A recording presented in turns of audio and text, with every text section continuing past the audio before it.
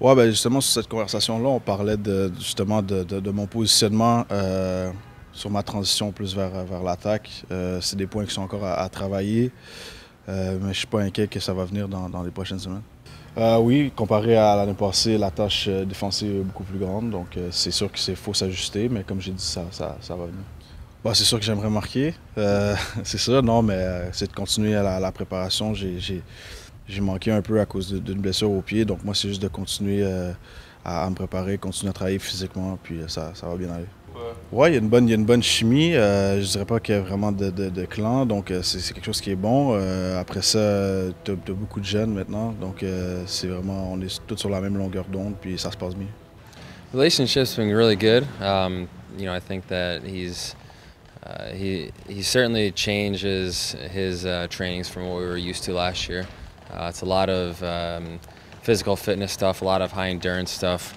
Um, you know, short, small steps, getting across the goal, um, working yourself into position, stuff like that. So, um, you know, it, the first week was a bit of an adaptation period, but uh, I think it's been very good. A little bit, yeah. Um, you know, it, if we have such a good defensive structure, it helps me to, to now place guys in, in certain positions, knowing that that's where they're supposed to be.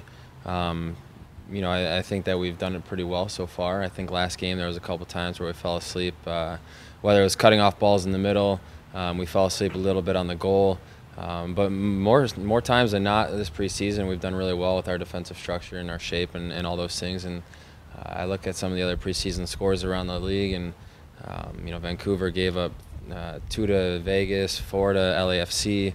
Um, Atlanta gave up a couple goals. So teams are giving up goals, and um, as long as we can, you know, keep the goals down and and build on our shape and structure and kind of fine tune certain things, uh, that's the most important part right now.